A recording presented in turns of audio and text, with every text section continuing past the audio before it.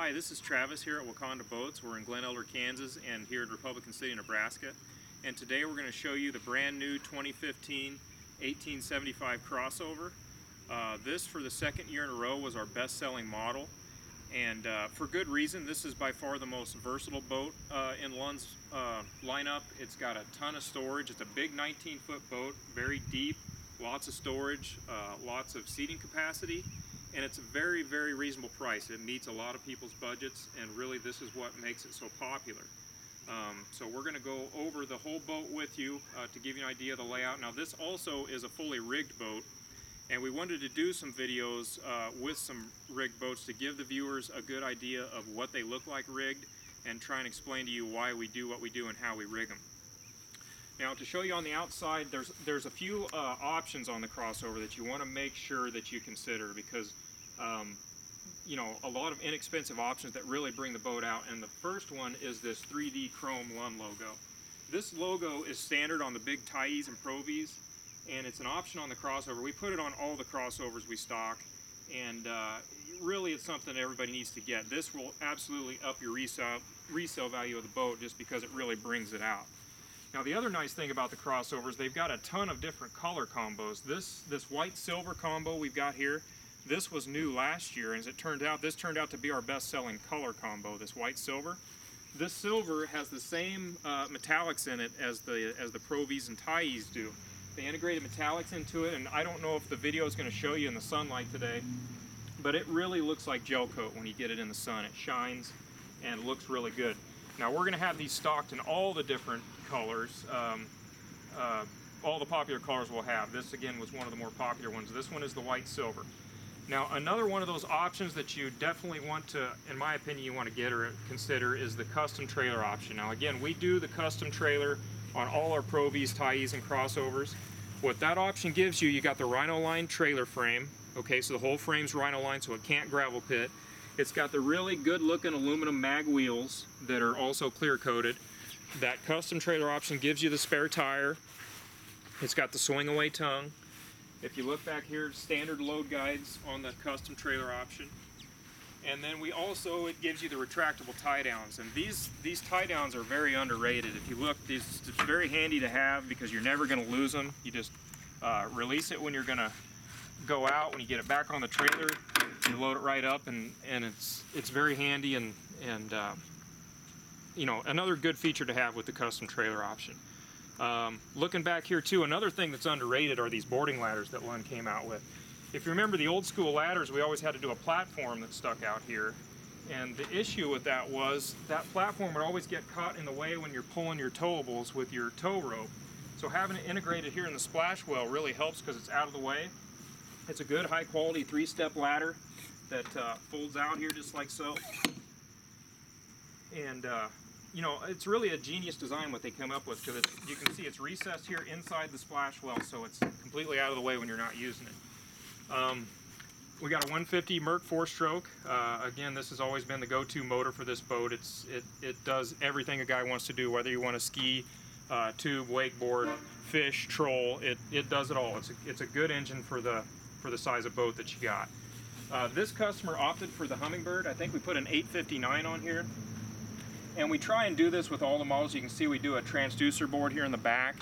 For guys that like to mix and match their uh, electronics a lot, this saves you from drilling a bunch of extra holes in the transom. When you have this, we drill holes into this board instead of the transom. It's just better to, to have that way. So uh, this covers the outside. Let's go on the inside and see the meat and potatoes of what makes the crossover so versatile.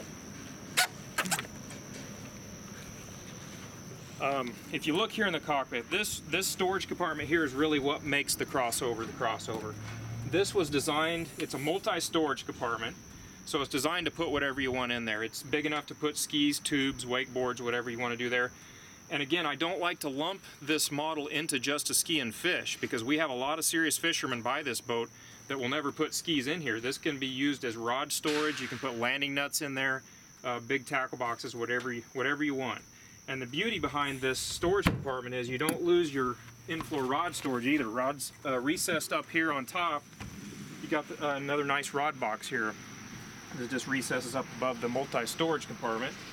You can see uh, we've got this customer's uh, onboard battery charger here in the center. That's the, the battery charger compartment. Those leads stretch out the port and starboard sides. They go right to the trolling motor batteries. So it's handy, it looks neat, and it's out of the way. now, another one of those options I was telling you about that you want to make sure you get on a crossover is also this, this bow filler extension. Um, this is a must, I think, because you've got a really good sized bow up here. For guys that, that spend a lot of time fishing up here, when you have this extension here, you put your uh, fishing seat here, you've got 360 degrees and plenty of leg room to swivel all the way around. Now it is a bow conversion just like on the Tyee. When you fold this out, you can mount it flush to the floor so your bow riders have plenty of leg room now when they want to set up here. And if you really want to uh, spoil the bow, ri the bow riders, you can get those bow cushions as well that snap on up front. Here's another option. For, for the guys or with families that are going to do a lot of skiing and tubing, those bow cushions are a popular option. Okay, so you got your bow filler cushion, something you want to make sure you get. Since we're here in the bow, I want to show you another thing that everybody loves about this model. Two huge uh, dry storage compartments on each side. They both cover the whole bow and um, you know, it's amazing the, the gear you can get stored in here. This customer also opted for the travel cover, which is sitting right here. Uh, trolling motor batteries are mounted tor toward the back under the consoles on each side, so they're good and out of the way. And then uh, if you look up here, we've got a courtesy light, and we also have an 80 Terrova iPilot on here, which is what 90% of the buyers are getting, uh, you know, some type of the Terrova, whichever, whether it be the Link or the or the standard iPilot. Uh, but this is kind of what it looks. Got a detached plate here, got a foot control here, plenty of storage up underneath, and uh, we also have some back bolsters here for your bow riders. They've got a place where they can lay back. Uh, another thing they changed from last year to this year, if you look at these cleats, are a lot nicer. They've got the uh, recessed cleats, so when you're not using them, you fold them down, you're not going to catch your leg on them anywhere. It's a little handier, a little beefier deal than it was last year. Okay, um, let's move back here to the back. Um, again, this is by popular demand. We learned this the hard way. Late last year, we started stocking all of these with the uh, vinyl cockpit, and it's got the snap-in, snap-out carpet. So this kind of gives you the best of both worlds. If you want the comfort of the carpet, you can snap it in. If you want the easy cleanup, you just snap it out and leave it in the garage or leave it on the dock, and then you've got your open uh, vinyl, so you just hose it down if you're, you know, if you're going to be doing a lot of fishing and getting slime and stuff up in the cockpit. So that covers that. Another option you want to make sure you get on your crossovers, which all the ones we stock, you, we put the uh, sun top on them. And you can see it's nice because it's got its own compartment. It's a hider compartment to get it out of the way so you're not tripping over it when you're not using it. But it's a really good high quality top and it serves its purpose for whatever you want it for, whether it be, you know, shade when it's hot out like it is today, or if you, uh, it'll keep you dry in the rain. You know, it, it's a good high quality top. It sets up six foot so you're not cramped when it's pitched and uh, another must option you have. Now this year for 2015, when you get this sun top, you're also going to get this uh, the walk-through cover. So when you, if you like to fish early and late in the year, you can close this gate up with the walk-through cover that snaps on right here. That keeps all that wind and water from coming up uh, into the cockpit. Okay, so that uh, that covers that. This is the same as last year. We've got a huge live well here in the back aft. Um, lighted and timed, covers almost two-thirds of the back aft, okay? And then uh, look here, we've got flip seats on each side. This side here actually uh, is where your crank battery is stored. Lifts up just like so, and there's some extra storage up under here.